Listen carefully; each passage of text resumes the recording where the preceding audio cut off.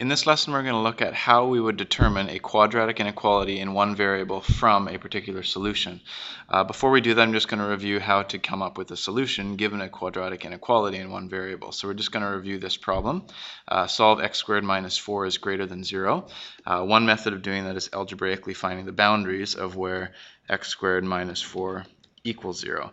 And if we factor that, this is the difference of squares, x plus 2 x minus 2, and that will give us boundaries of x is equal to negative 2 and x is equal to positive 2. So if we were to add this onto the number line, the boundaries between where x squared minus 4 is greater than 0 and where it's not greater than 0 are the points negative 2 and positive 2. And those are non-inclusive because that's where it equals 0. Uh, then what we do is use test points so if I use, for example, uh, the test point negative 3, this is just one of many methods to understand this. In the original, I would have negative 3 squared minus 4 greater than 0, which gets me 9 minus 4 greater than 0, which is a true statement. So this region here of numbers less than negative 2 would be solutions. Uh, if I substitute 0, what you'll notice is you'll get negative 4 greater than 0, which is not true. And if I substitute 3 into the original inequality, you would have 3 squared minus 4, which is 5, greater than 0, which is true. So this region here would also be a solution. Another way you could represent this solution, uh, symbolically speaking, would be this would be this region here would be numbers greater than 2 and this region here would be numbers less than negative 2. Or we could solve this from the related graph. Here's the graph of y is equal to x squared minus 4. So this question is asking where is the function x squared minus 4 greater than 0? Well, you can see visually that the function is equal to 0 at negative 2 and 2, and it's greater than 0 to the left of or less than negative 2 and to the right of or greater than 2 which gets you the exact same solution. Uh, what we're doing in this lesson is the reverse is given a solution let's come up with the inequality and we treat it kind of backwards in a way. Uh, for this next problem we know uh, that your, we might want to represent this on a number line, we know that your boundaries are negative 5 and 3 and they're non-inclusive so this solution looks something like this between negative 5 and 3. Uh, the easiest way to begin this is by representing the boundary points from the related factors. So we know that the factor related to a boundary point of negative 5 is x plus 5, and the factor related to a boundary point of 3 would be x minus 3. So now all we need to do is figure out what the sign is related to 0. And in order to do this, what we can do is just take a test point from a solution region. Because we know, for example, that 0 is a solution, if I substitute 0 in for the variable, that will, that will determine the inequality sign for me. So I'll just show you what that looks like. If I substitute 0 into here, what I will get is uh, 5 times negative 3 is somehow related to 0, or in other words, negative 15 is somehow related to 0. And in this case, we know that 0 is greater than negative 15, or negative 15 is less than 0.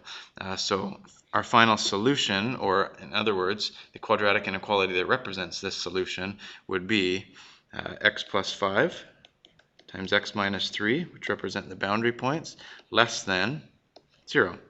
That's one way of doing this particular type of problem. Uh, you may be asked to put this into standard form, which would also be uh, x squared plus 2x minus 15 less than 0. Uh, let's do another one with fractions, but same kind of idea. Uh, in this next one, what you'll see is that the boundary points are inclusive at negative a half and also positive 7 quarters. And our solution region is less than negative a half and greater than 7 quarters. So in this particular case, we know that the uh, if you want to figure out what factor is related to this root, we could make this x is equal to negative 1 half and then algebraically make one of the sides equal 0, because that would represent the root. So this would be uh, 2x is equal to negative 1, and if I add 1, I'll have that 2x minus 1 equals 0. So 2x minus 1 is the factor that represents that root. Uh, for this particular one, what I'm going to do is just state it. You could do the exact same thing, but it would be represented by 4x minus 7. So in this particular case, the quadratic inequality would be something like 2x minus 1, which is a boundary, uh, times 4x minus 7, is somehow related to 0. And we know that it's going to either be greater than or equal to or less than or equal to because the boundary points are inclusive.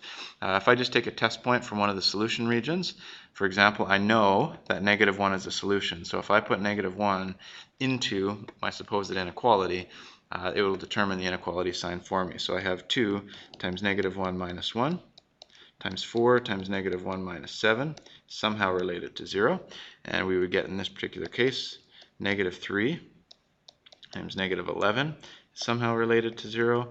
In this case 33 is greater than 0.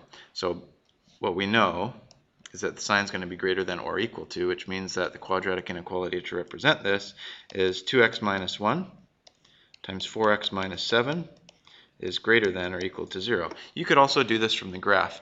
Um, let me just do one last one for you. This is kind of an interesting one. In this particular case, all it says is that it's all real numbers except not negative 3. So we know the solution looks like everything to the left and to the right uh, of negative 3. So what this means is that this is a unique uh, root, which means that probably what's happening in this particular case is the function, sorry, this should be at negative 3, uh, the function is just touching negative 3. Okay, it's either opening up or opening down. Uh, in this particular case, it, it, doesn't matter, but we know that the factors are going to be x plus 3 and x plus 3. Uh, so it's a single boundary point, so x plus 3, x plus 3, and we know it's either going to be greater than or less than, because it's not inclusive, something to do with zero. You can take any value from a solution region to determine your inequality. Uh, I'm going to take the number, for example, zero. Tends to be the easiest one. So if I put zero into here, what I'm going to have is 3 times 3 is somehow related to zero, and we all know that 9 is greater than 0. And since it's not or equal to in this particular case, uh, the inequality to represent this uh, would be x plus 3 times x plus 3 greater than 0, or if you wanted to expand this, it would be x squared plus 6x plus 9 greater than 0. There's an inequality that would represent the solution that x cannot be negative 3.